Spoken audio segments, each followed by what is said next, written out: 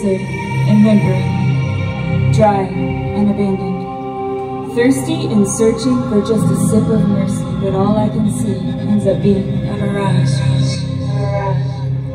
Raindrops seem to skip me like rocks. Why am I so easy to leave? Unpicked, unable to speak. Being unheard is the same as being unseen. Wilted Unaware of habitual harassment, my petals are stained, some, are absent. Checkmate. Covered in dirt, pretending I hate is more acceptable than admitting I hurt. Wilted and tormented, my torrential tears aren't enough to nourish this thirst. My roots are anchored in a shadow. The sun simply burns my bloodshot eyes and shines a spotlight on the evidence that I'm rotten. Forgotten. Potpourri may be my only chance to be severed from these roots that choke me. They'll just burn me to me scurry. Dry skin with spice, stirred in a bowl to soothe them. Inhale the scent of my remains and recline in their careless domain where I wasn't suitable to grow. I know, I'm not presentable to show. A vase would reject me, lace would likely disrespect me. They'd never want me to be seen. I'd never be cast for the scene where the girl in love peels back the layers of me, asking my petals to answer her helpful question. Does he love me? However, I can't help but notice the dirt that splashes on me is the same as all the others. So why am I so ashamed of my distressed colors? Wilted and confused. Now intimate with abuse, I felt charmed with the false yet friendly feeling of darkness. It became comfortable, almost serene, like a leaf floating gently down the stream alone thoughts, wishing daydreams would intervene. But I'm starting to see a homecoming, a cheer for the winning team. My jersey that reads misery is no longer an option. Despair has revealed itself as a prison cell, and I seek adoption. I can't cower forever in the familiar shade I was planted in. Like a recluse that got caught, entangled in a web she didn't spin again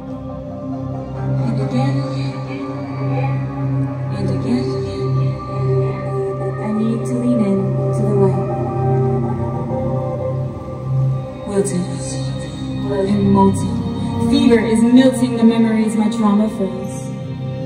Timeless, dripping like wax, petals dance as they gracefully descend, disassembling in the wind until all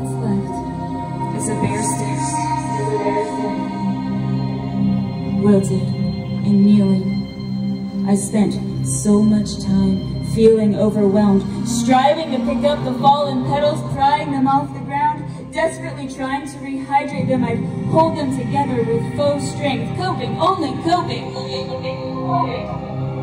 by coloring them in with leftover paint, hoping, I pass as a living rose. It would never last. I'd start itching from the dryness, a rash that resembled shyness, unmasked. I hid my puncture wounds, tucked inside my mind as I continued to collapse. I feared relapse. As I watched petals, I was so attached to fade to black, wilted Left skin and peeling in conditions so cold it took ditching my own protective petals that served as an army with shields as they lowered their smokescreen. It allowed the gardener to mend, settle, and heal my soul. Transplant and expose, swarmed by thorns, recounting every petal that fell, with each one a story to tell someone else that he loves me. Never did he love me not. My soul is bought, my ground transformed, my thorns matured into sharpened swords, twisting together, resembling a crown like the one my king wore when the veil was torn. So I thought they loved me not, but who were they to save me? I'm redeemed. I'm free. With every petal to ever fall again, I'll always be reminded that he does love me. And though the broken pieces still have beauty, the old has passed away. My life may fade, but it will never decay. As he resurrects all new petals blooming with his name. A heavenly arrangement, a holy He once prayed in his own garden on the eve of being betrayed and wept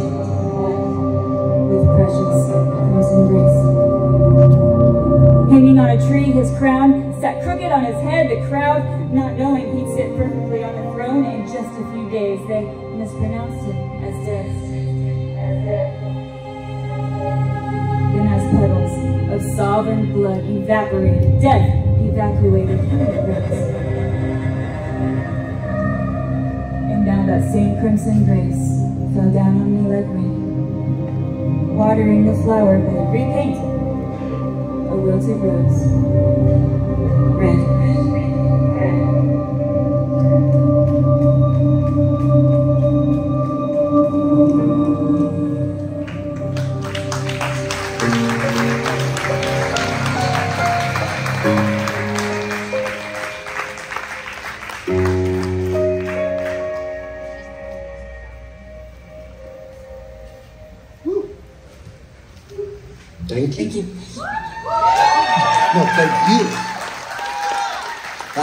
Impactful by both of them, right?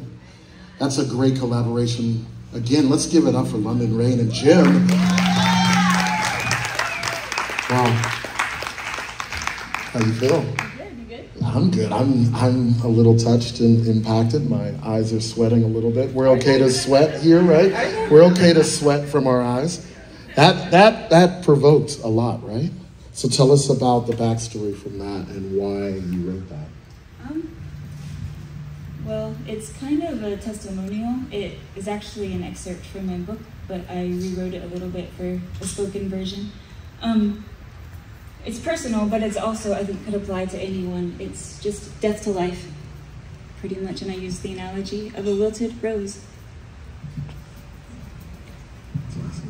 So, also tell us a little bit about why you're here. You're a resident artist here, and you've done some things uh, with Jim. Tell us a little bit about some of the things that you guys have been collaborating on and things you've done here at the collective. Yeah, sure. So we did, we shot a music video a couple months ago.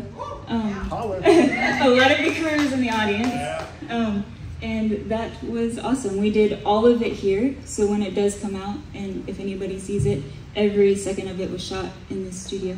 Um, so yeah, that should be out this summer. Awesome. Well, we're gonna pull Jim up here after he's done, but I guess the last thing I would ask him, he's still rocking over here. He's, he's done, he says he's done. Jim, you, Jim's done this before, and Jim is a seasoned man at this. So tell us a little bit about what you've done this for and why it's impacting other people throughout the country and how, how it really cultivates um, conversation about things that are very, very important. Yeah, so our desire really here is to walk with people that, that are focused on impact and using their creative gifts and talents to, to have impact and speak life into the world. And so just alignment and community is such a big thing for us. And so, you know, I, I actually, this is probably one of the fastest paintings that I've ever, thank, thank you, um, had to do on stage. Uh, typically I travel around the country with a spoken word artist and do a 30 minute painting, which is good. And I'm like looking here, I'm like, oh Lord, that's less than 10 minutes. Oh God. So anyway, so it's just quick and but it's to the point and obviously it's not a standalone, it's with the the, the words and it's just it's emotional and, and it's about restoration and healing and goodness and hope, you know? So and that's man, you could be painting anything. I mean painting butterflies and trees and whatever, but man, what what about doing artwork that actually reaches in and, and touches someone. You know, that's that's my heart. And I think it did that, right? Let's give him a big round of applause tonight. Yeah, please. It's beautiful. Really beautiful. Tonight we actually are auctioning those off. So what happens typically is those go for like five thousand dollars you know, he's at an event and they do the 30 minute and they're talking about what's really important. Tonight we have some other art that's over there when you walked in. Please do the silent auction. There's a way to write on clipboards what your, your bid is going to be. There's some amazing provocative art over there as well as this one. It all helps the collective. It helps uh, move this place forward. And we love to have you have a piece of this place uh, at home. So thank you guys so much. That, that's the way to start, right? Riveting, powerful,